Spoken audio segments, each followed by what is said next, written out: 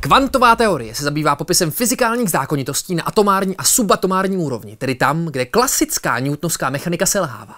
Společně s teorií relativity způsobila kvantová teorie na začátku minulého století revoluci v chápání života, vesmíru a vůbec.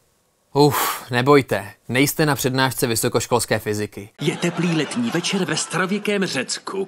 I když pojmy jako kvantová teorie či mechanika znáte jako já spíše ze sci-fi filmů, Lidi, to fakticky není úplně tak můj obor. technologie založené na jejich principech používáme celkem běžně.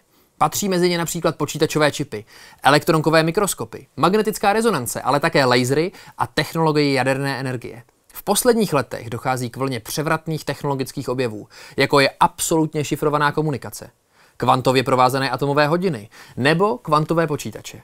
Na rozdíl od umělé inteligence nebo biotechnologií jsou kvantové technologie tohoto typu teprve na začátku. Zatím se jejich život odehrává hlavně mezi zdmi laboratoří gigantů, jako jsou Google a IBM. Výzkumné kapacity českých univerzit však nezahálí. Výzkumníci z Masarykovy univerzity získali grant na vývoj zařízení pro kvantovou distribuci kryptografického klíče. Ten má sloužit k vybudování absolutně zabezpečené komunikační infrastruktury. Ostravské superpočítačové centrum IT for Innovations zase má kapacitu je testovat. A jaký dopad budou mít kvantové technologie na vojenskou oblast?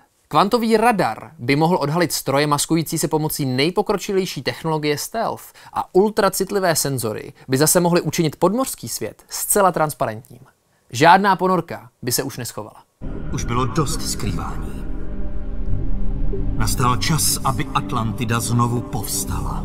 Kvantové hodiny by zase mohly díky své přesnosti nahradit poziční systém GPS v oblastech, kam družicový signál nedosáhne, například pod silným ledem nebo v situacích, kdy je nějakým prostředkem příjem signálu znemožněn. V oblasti komunikace bude mít kvantová technologie dva hlavní důsledky. Umožní navázání nerozluštitelného přenosu informací a umožní dosavadní předkvantové šifrovací technologie prolomit lusknutím prstu. Otázkou ale zůstává, kdo za nás luskne. Kvantové technologie jsou už teď součástí našeho běžného života a jejich další vývoj rozhodně stojí za to sledovat. Nesmíme zapomínat na to, že právě v kvantové mechanice pozorování experimentu ovlivňuje jeho výsledek. Tak se pozorně dívejme.